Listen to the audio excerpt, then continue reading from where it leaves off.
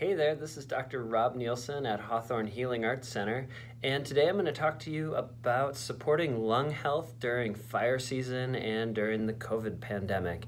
So, for lung health, the, one of the most important aspects is just reducing overall inflammation. So, just take a step back, analyze your life, and think, where where are my sources of inflammation?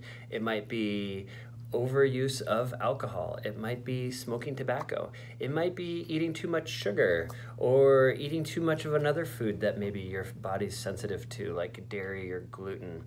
Um, so that's the first step is just reduce the overall inflammatory load on the body. Next up, I recommend some form of hydrotherapy. So hydrotherapy can look like a castor oil pack over the liver. So that would be just smearing castor oil over it, covering it with a towel, and then putting a heat pad on. Um, you could also do alternating hot and cold in the shower. Um, you could even do what's called a cold shirt uh, treatment. So get warm and then put on an icy cold shirt. All this is just going to improve your overall circulation and, and lower your inflammatory load.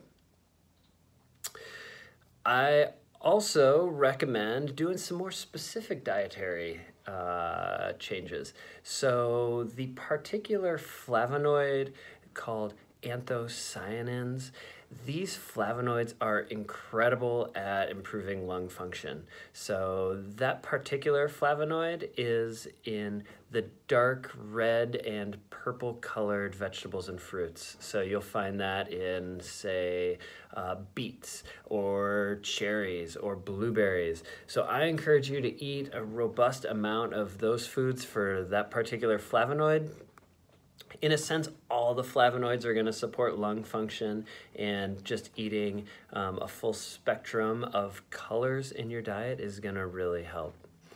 Um, I also really recommend acupuncture, acupuncture to boost the lung qi. Um, we can also improve the body's ability to descend the lung qi through the entire body. So basically just to help oxygenate the body. Um, and then of course I love herbs. So taking some form of lung tonic for um, this time of year can be really helpful. Uh, at Hawthorn, we've put together a lung formula, so a tea that you can pick up here and um, just drink regularly. Uh, we also have various supplements available to you.